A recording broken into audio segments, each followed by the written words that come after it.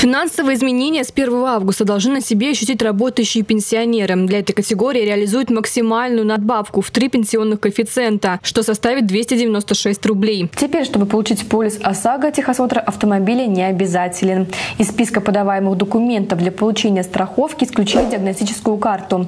Однако водители это не освобождает от периодического прохождения техосмотров авто. Любители здорового образа жизни теперь смогут претендовать на налоговый вычет за занятия спортом. Начиная с этого года они могут вернуть 13% с оплаты услуг в физкультурно-оздоровительной сфере, фитнес-залы, бассейны и спортивные секции. Больше никакой звуковой рекламы в многоквартирных домах. По словам авторов законопроекта, это не нарушает санитарных норм, однако жителям доставляет дискомфорт. И самое ожидаемое новшество – семьи с детьми от 6 до 18 лет получат единоразовую выплату на сборы ребенка в школу. Размер денежного перечисления составил 10 тысяч рублей на одного ребенка. Ванесса Петерс, Павел Чекмарев, городской телеканал ЮТВ.